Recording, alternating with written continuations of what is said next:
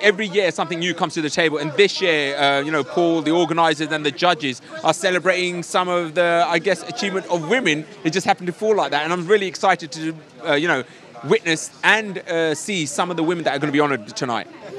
I think I'd also add to that the fact that you know the Asian Awards are important now more than ever. Uh, over the years, we've seen some fantastic people, Freddie Mercury, Bruce Lee, being recognised. But also, what the Asian Awards do is highlight to the rest of the world that actually we're here, we are fantastic, and if you didn't know about us, you should know about us.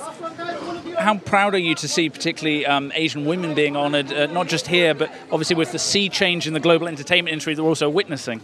Um, I'm extremely proud to be stood alongside my husband. We are always on equal parts. We work together in everything that we do. And the Asian Awards is highlighting some of the achievements of women. We just uh, gave birth to a young baby girl seven months ago, which was featured on One Born Every Minute. So now more than ever, we need to encourage our future generations. And I think the Asian Achievement Award, Asian Awards is doing that in droves. The Asian Awards is highlighting across the world that women are actually great and sometimes even better than men. I don't know if you'd agree. I agree. And also, this this conversation not just exclusive for uh, for just women.